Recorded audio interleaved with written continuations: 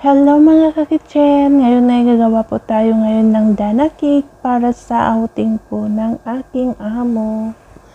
So kung bago ka pa lang po sa aking channel, huwag po kalimutang mag-subscribe at paklik na rin po yung ring bell button. Ayan po. So mag start na po tayo mga kakitchen. Nakaready na po lahat ng mga ingredients. Ayan na po mga kakitchen. Madali lang po yan gawin. At super sarap po talaga ng cake na yan at napakalambot po. So, ang una natin gagawin mga kitchen, syempre, i-blend lang po natin or i-mixer natin yung dalawang egg. Yun po yung una po nating ilalagay. So, i-mix lang po natin yan mga kakitchen hanggang sa maging creamy po yung itsura na yan, yan po. Then, mag-add na po tayo ng sugar, Ayan, 1 cup sugar. Ganyan lang mga kitchen, kailangan dahan-dahan din yung paglagay natin para ano. Then, syempre, mag-add na rin po tayo ng oil. Ayan po. So, habang naikot mga ka-kitchen, ayan, gusto ko lang po magpasalamat po sa lahat ng mga sumusuporta sa aking mga videos. Ayan, so nagad na rin po tayo ng milk po. Ayan. Dahan-dahan lang po yung paglagay natin para maganda po yung pagkaayos. So, ayan mga kitchen, pinagsama-sama ko lang po yung ano, yung flour at saka yung salt.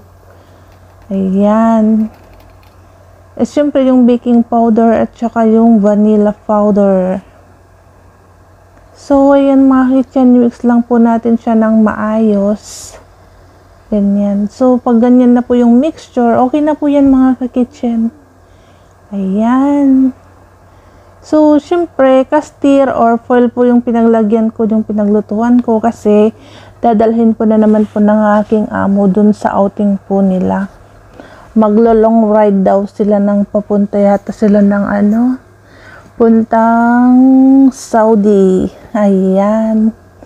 So, yan mga kitchen. Dinuto ko lang po yan ng ano, 15 to 20 minutes sa 180 degrees. Ayan. So, ang ganda ng pagkaluto mga kitchen. Oh, talaga yung parang binibili lang sa labas na cake. At saka super lambot talaga siya. Ayan. So, bago po natin siya hiwain mga kitchen, kailangan na ano, palamigin po na, natin siya muna. Hiniwa ko na siya para pag habang natakbo po yung sasakyan, yan, magpulot lang sila ng kakainin. Ganyan, para hindi na sila mahirapan pa na maghiwa-hiwa doon. Kaya hiniwa ko na yan kaagad.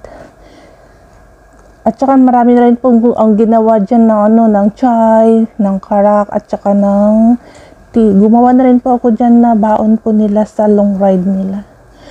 So, sana po nagustuhan na naman po ninyo yung bago po nating recipe mga kitchen. Thank you for watching and God bless all. Mwah!